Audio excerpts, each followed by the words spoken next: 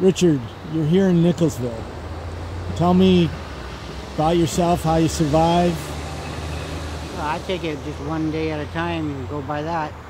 Uh, I came up from San Diego to uh, get into uh, permanent housing, looking for full-time work, you know, and uh, I've been uh, out on the streets, sleeping underneath the I-5 overpass, slept in the park, on the sidewalk. I've done that, all that. But I'm trying to find a way to improve my way of life is to get myself into uh, a more solid structure like a house or and into a full-time job. This seems to be like a, uh, a step up, a step up from the street. I mean, Nickelsville Hill is. Nickelsville has been helping me quite a bit, and uh, and I've been helping them quite a bit as well. Yeah, it's it's really a community. Nickelsville is not a regular tent city like Tent City 3 or Tent City 4.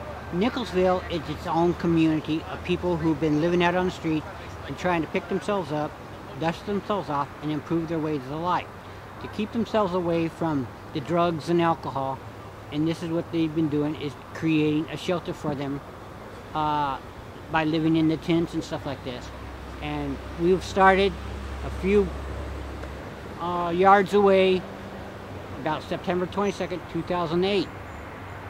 We started out with about 150 tents.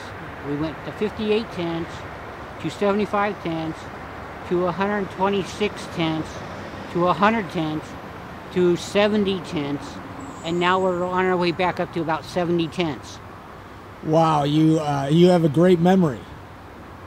You have a, a really amazing memory. I keep everything logged down. Uh, now, what is your job here?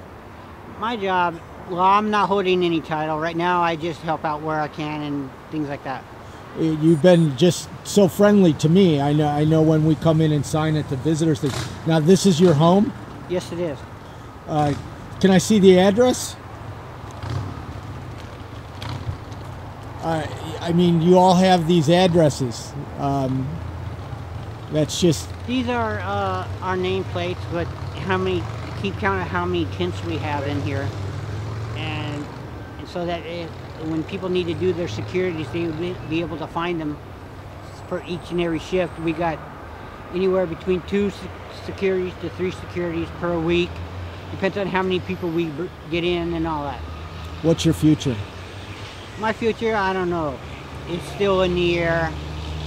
But to get into a permanent structure, like to get into a house, like to cre- turn the house into an office, is what I would like to do.